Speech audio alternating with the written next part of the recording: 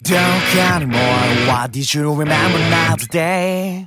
So we just wait until the end of the show Don't care anymore, what did you remember now today?